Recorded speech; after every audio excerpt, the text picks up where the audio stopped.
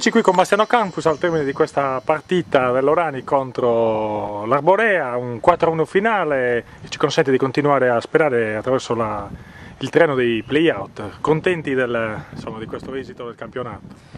Beh, soddisfatti quasi pienamente, diciamo che l'obiettivo era la salvezza e ancora ce la dobbiamo giocare. Oggi abbiamo incontrato una grande squadra, ovviamente le motivazioni in campo erano diverse, quindi loro pur, uh, pur essendo, essendo dei, dei, giocatori di alto livello sicuramente erano demotivati purtroppo dal, dal, risultato di domenica scorsa che li ha tagliati fuori dalla zona Certo, la sconfitta con il Bulti esatto, è costata attaccare. Noi invece oggi Grande prova d'orgoglio. Diciamo dire. che ce la dovevamo giocare, quindi ho visto grande motivazione, grande impegno da parte di tutti, soprattutto da parte dei giovani.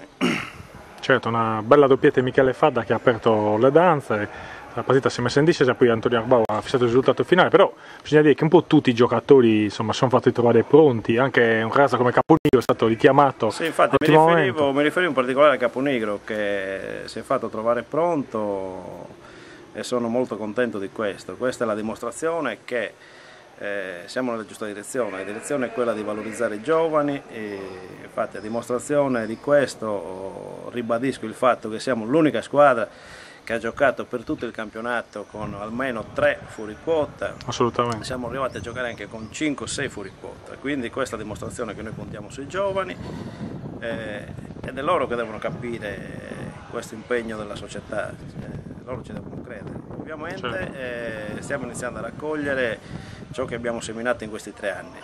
Io mi auguro intanto di arrivare presto, prestissimo alla salvezza definitiva per poi programmare la, prossimo, la prossima stagione. Certo, eh, ecco questo campionato peraltro ha sancito la vittoria della Corrasi che va in promozione, poi il Bonova, la Dorasi andando ai playoff, eh, poi le retrocessioni di Bultei, Montalvo e di Stanese che insomma, sono finite direttamente in seconda. Secondo te insomma, la classifica rispecchia i valori delle squadre o c'è qualche delusione? Diciamo che rispecchia eh, i valori delle squadre, delle squadre che, hanno, che hanno raggiunto i risultati i risultati eh, diciamo, in zona, in zona, in zona dell'alta classifica. Forse l'Alborea è stata un tantino penalizzata, io ho visto una grande, una grande squadra, l'Alborea è una squadra che meritava sicuramente di fare, di fare playoff.